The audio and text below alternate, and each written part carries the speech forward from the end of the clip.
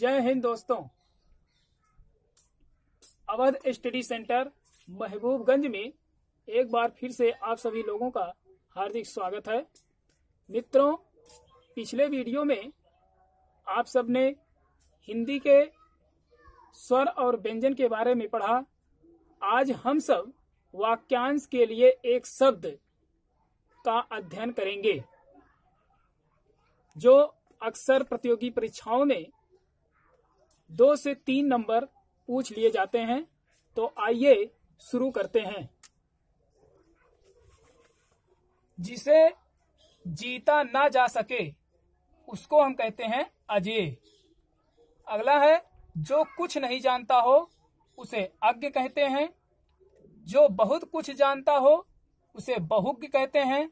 हम यहाँ पे आप सब लोगों को बताते चलें कि मैं यहाँ पे फालतू चीज़ नहीं रखा हूँ, रखा, इसमें रखा हूँ, क्योंकि इसमें वही चीज़ मैं रखा हूँ जो बार बार रिपीट होते आए हैं अन्य प्रतियोगी परीक्षाओं में। मैं उसी चीज़ को यहाँ पे पढ़ा रहा हूँ। जिसे जो कम जानता हो, उसे अल्पज्ञ कहते हैं। अगला है, जिसे मापा ना जा सके, उसे अपरिमेय कहते हैं। अगला है, जो अधिक बोलता हो, उसे वाचाल कहते हैं। तथा जो कम बोलता हो, उसे अल्पभाषी या मितभाषी कहते हैं। अगला है, जो कम खर्च करने वाला हो, उसे मितव्ययी तथा पर्वत के पास की भूमि। ध्यान दीजिएगा दोस्तों, पर्वत के पास की भूमि या पर्वत की तलहटी, ये दो नाम से है। इसको हम कहते हैं उपत्यका। ये बार बार एग्जामों में आता है। अगला है जो छीड़ न हो सके, उसे अक्षय। अगला है जो स्वयं उत्पन्न हुआ हो, उसे स्वयंभू। तथा अपना हित चाहने वाला स्वार्थी के नाम से जानते हैं।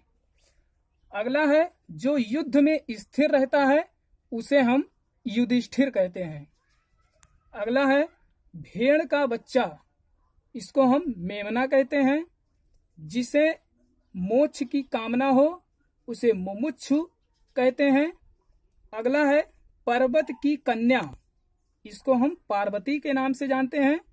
अगला है जो उक्ति बार बार कही जाए, उसे हम कहते हैं पुनरुक्ति। अगला है जिस स्थान पर अभिनेता अपना बेस विन्यास करते हैं, उसे हम कहते हैं नेपथ्य। हाँ तो अगला देखिएगा।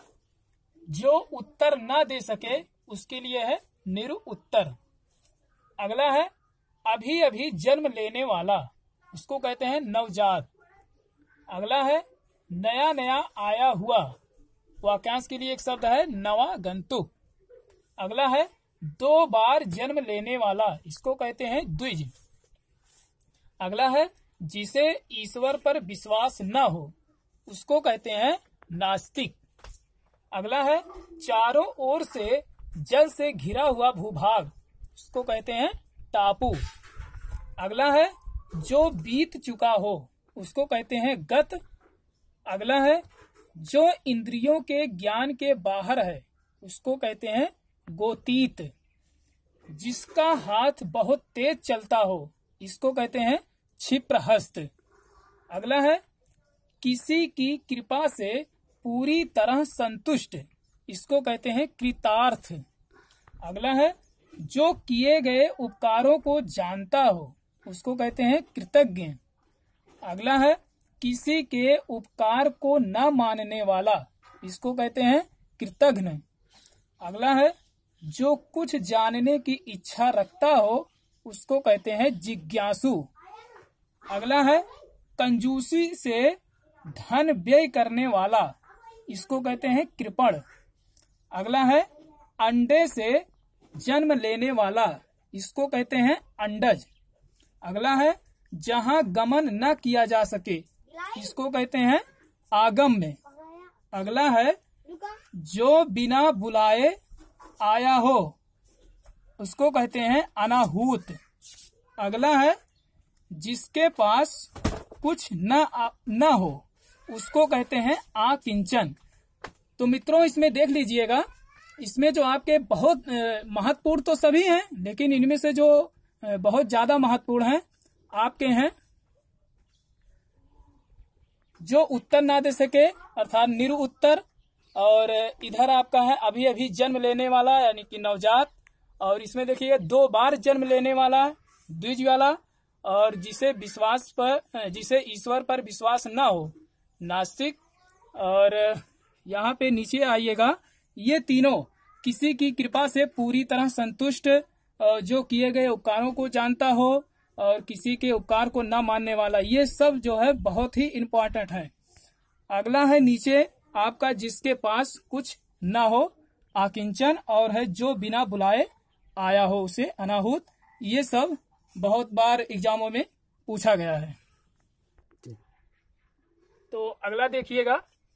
पूरब और उत्तर के बीच की दिशा, इसको कहते हैं ईशान।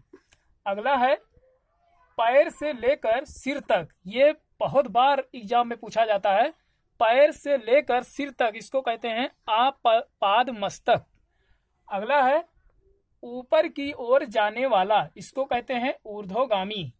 अगला है, बालक से वृद्ध तक, इसको कहते हैं आबाल वृद्ध अगला है वह स्त्री जिसका पति परदेश से लौटा हो, इसको कहते हैं आगत पतिका।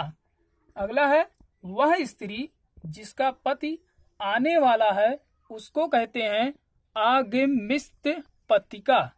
अगला है, वह स्त्री जो सूर्य को कभी न देख सके, उसको कहते हैं असूर में पश्या। अगला है, जिसका खंडन न हो सके, उसको कहते हैं अकाटय अगला है, जिस पर मुकदमा चल रहा हो, उसको कहते हैं अभियुक्त। अगला है, जो छाती के बल चलता हो, उसको कहते हैं उदग या सर्प। अगला है, वह स्त्री जिसके पति ने त्याग दिया हो, उसको कहते हैं परित्यक्तका। तो मित्रों, आगामी एग्ज़ाम के लिए यह जो क्वेश्चन हमने आप लोगों को पढ़ाया वाक्यांश के लिए एक शब्द बहुत ही महत्वपूर्ण है। तो इसके साथ ही मैं आप लोगों को बहुत बहुत धन्यवाद देता हूँ। जय हिंद, वंदे मातरम।